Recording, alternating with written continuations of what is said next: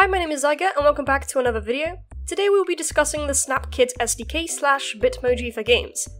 To be 100% transparent, this video is sponsored by Snapchat, but all opinions are my own and I will be going over the positives and negatives of this particular product. So let's get started. Before showing you how to integrate the SDK, let's talk about what it is. To put it shortly, the SDK allows you to integrate 3D and 2D Snapchat Bitmojis into your game. But it does more than just that. Snapchat SDK has a login kit that lets your community use their Snapchat account as a quick way to sign up and log in into your game, which I think is a great alternative to doing all the logic yourself. It also has a creative kit, which allows users to share lenses, AR experiences, filters, GIFs, videos, links, or captions from your game directly to Snapchat's camera or preview screen. Not exactly sure how that worked as I haven't checked it out myself, however, it sounds pretty cool. And of course, there's a bunch more features that I recommend you check out. So let's now get into how to get started. I will leave a link in the description to this GitHub repo from which you need to download this project. Or you can head on over to the Unity store and download Snap SDK from there. Just be aware that the version on the Unity store is not up to date and only allows you to use 2D Bitmojis, whereas the GitHub one has 3D ones and of course is updated. Once you have the files you need, you can either open it through Unity Hub or just drag all the files into your project. And once the project is open, we can head on over to Snap, Editor, and click SnapKit Settings. Once you do that, you will see a bunch of info on the right in the inspector. Simply keep this open. Then you will need to head on over to this website and create an account or log in to a current one. Then within here, create a new project and give it a name. Scroll down to demo users and enter your Snapchat username, then press add. This will allow us to use our Snapchat account within our app. Now be aware that this is only when you're prototyping, once your app is fully released you will not have to add every single user.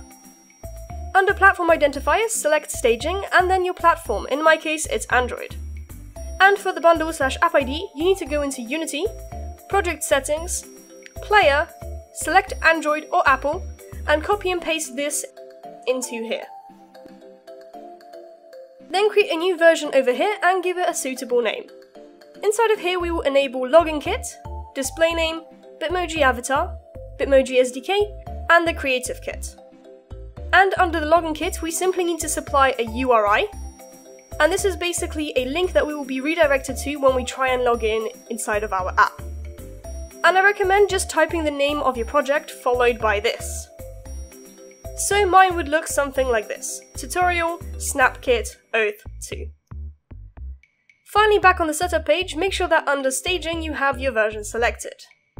Now we need to link this account to our Unity project, so copy the client ID that's under staging and paste it under client ID for both iOS and Android inside of Unity. And remember that URI, we need to use that too, so paste that into the redirect URI. And then the next three values will simply just be the free parts of that URI. So in my case, it looks like this. Tutorial, snapkit, oath 2. Now that that is finished, we can finally build the app. By the way, if you simply just open the GitHub project like me, you will have all the correct settings already.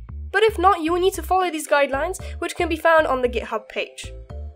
After the app is built onto your phone, by the way, I will link some tutorials on how to do that because it can be a little bit tricky with Unity, we can simply press login, which will redirect us to a login page. Here we can just use our Snapchat account and log in. And once that is finished, it will take us back to the app with our correctly loaded Bitmoji. Of course, at this point you can do anything with this, such as create games or just use this as your game's as avatar, but you can also just not use Bitmojis at all. If you don't like the idea of them, you can just simply use the Snapchat logging as a login system for your game. Now, of course, this is just a demo, however, there's a lot of stuff you can do with this, and Snapchat has provided a lot of documentation on it. But also going through the project is a really nice idea, as it lets you learn how the code works, but it's all fairly simple, and I recommend it to beginners. Okay, so now that you have it set up and you know about it, let's talk about how I feel about this SDK. Now, I think overall it's a great tool and it can help developers make their games better, and I would highly recommend using it if you're looking for a login system or simply because you want users to have customized characters. I also think there's a lot of potential with it because, as I said, it has that entire creative kit, so you can use filters and a bunch of other stuff, such as an AR camera and etc. So I think it has a lot of potential. However, the only downsides that I found of this SDK so far is that the documentation can be a little bit confusing. When I was initially setting up my project, there was a few things I wasn't exactly sure about, so I hope that they will update the documentation to make it easier for people to follow, Of course, I've now made this tutorial, so it should also be quite simple. And the main two other concerns that I have is first of all, the Snap SDK on the store isn't updated, and I think that's slightly misleading because a lot of people find it easy to just add the asset in from the store, so updating that would be really helpful. And I also think the project on GitHub should have a package option. So right now it's just the entire source code, so you can download it and easily open it up.